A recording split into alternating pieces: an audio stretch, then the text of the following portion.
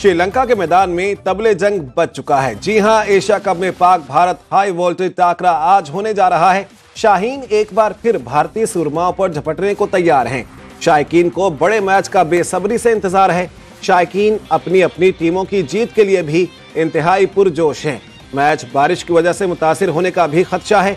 ACC ने Pak Bharat match के लिए मुतबादिल दिन मुकर कर दिया। बारिश की वजह से अगर मैच इतवार को मुकम्मल ना हुआ तो पीर को मुकम्मल किया जाएगा। इसी पर बात करने के लिए हमारे साथ मौजूद हैं सुनो न्यूज़ के नुमाइंदे महमूद रियाज। जी, महमूद रियाज, बताइएगा, क्या एक्सपेक्ट किया जा रहा है आज के मैच के हवाले से? बारिश का कितना इम्कान है? जी यकीन बारिश का इम्कान है, लेकिन कल भी जैसे कि श्रीलंका और बांग्लादेश का मैच हुआ तो बारिश का इम्कान था, लेकिन बारिश नहीं हुई। तो प्रोडिक्शन ज़रूर है इसलिए कि सबसे अहम मैच जो है एशिया कप का आज पाकिस्तान और भारत के दरमियान खेला जाएगा। पाकिस्तान ने अपनी इलेवन जो है प्लेइंग इलेवन उसका भी ऐलान कर दिया, जिसमें कि मोहम्मद नवाज़ की जगह फहीम अशरफ है और जो टीम ने छह तारीख को बांग्लादेश के साथ लाहौर में मैच खेला था, उसी को बरकरार रखा गया है। दूसरी तरफ़ भारत की तैयारियाँ भी अरूज पर हैं।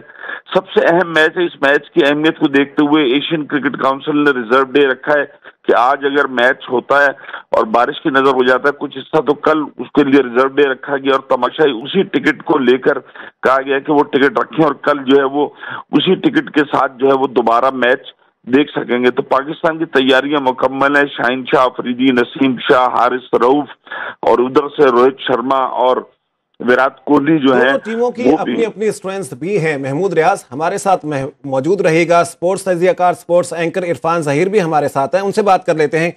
इरफान जहीर बताएगा पाकिस्तान की जानब से प्लेइंग इलेवन का ऐलान कर दिया। बांग्लादेश के खिलाफ जिसने मैच जीता वही टीम खेली जाएगी। क्या समझते हैं आज के मैच को? किस तरह से देखते हैं? क्या स्ट्रेंथ है पाकिस्तान की? जी, बिल्कुल। देखिए स्ट्रेंथ तो ओबियसली हमारी बॉलिंग लाइनअप है और हमारे खास तौर पे जो ट्रायो है, तीनों पेस बॉलर का, नसीम शाह, शहीन शाह, फरीदी और उसमें हारिस रोक वो ओबियसली सबसे बड़ी स्ट्रेंथ है हमारी। मेरा तो मानना ये था कि हम पाँचों पेसर के साथ भी जा सकते थे। कई दफ़ा होता ऐसा है कि आपको आउट ऑफ़ द बॉक्स सोचना पड़ता है, ऐसी चीज़ें करनी पड़ती हैं जो आपकी ओपोनेंट जो है एक्सपेक्ट नहीं करती। और भारत की एवरेज जो हम बात करते हैं स्पिनर के अगेंस्ट फोर हंड्रेड प्लस है। और जो पेस के अगेंस्ट है वो फिफ्टी के करीब है। तो आपको इस तरह का कई दफ़ा ऐसे डिसीज़न लेने पड़ते हैं जो अपोजिशन सोच भी नहीं सकती। But obviously considering this fact की शराब जो है वो बैटिंग में भी बड़े सूटेबल होते हैं पूरे बैट भी कंसिडर करते हैं और एक स्पिनर के साथ जा रहे हैं।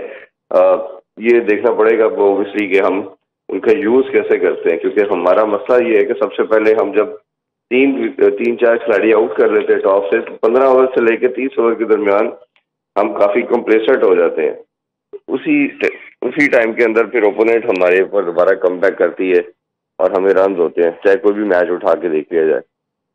तो ये मेरा ख्याल है उस लिहाज में हमें इरफान जहीर भारत की जो बैटिंग लाइनअप है वो बहुत मज़बूत है और उनके जानब से कुछ खिलाड़ियों की जानब से ये बयान सामने आते रहे कि उन्होंने बहुत तैयारी की हुई है खास तौर पर पाकिस्तानी जो बॉलिंग लाइनअप है इसको टैकल करने के लिए। हमें मैदान में किस जज्बे से जाना चाहिए किस हिकमत अमली से जाना चाहिए? करना क्या चाहिए हमें आज के मैच के लिए?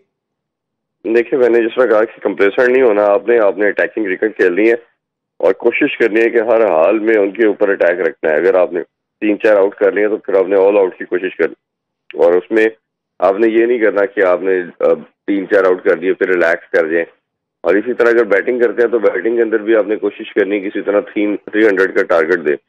क्योंकि ये विकेट जो है ये श्रीलंका की ये 260 70 से लेकर 300 के दरमियान की विकेट्स होती हैं।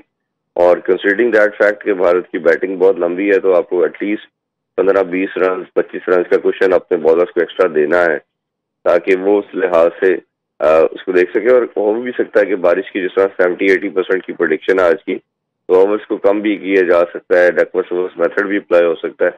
तो ये सारी चीज़ें हमारे डगआउट के अंदर जो थिंक टैंक है उनके माइंड में डेफिनेटली होंगी।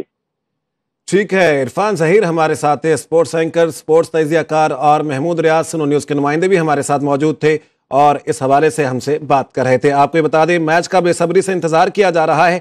शायकीन अपनी अपनी टीमों की जीत के लिए भी इंतहाई पुरजोश दिखाई दे रहे हैं। खेलों से रिलेटेड तमाम अहम खबरें और अपडेट जानने के लिए सुनो न्यूज़ के यूट्यूब चैनल को भी सब्सक्राइब करें। और बेल आइकॉन को क्लिक करना मत भूलिएगा।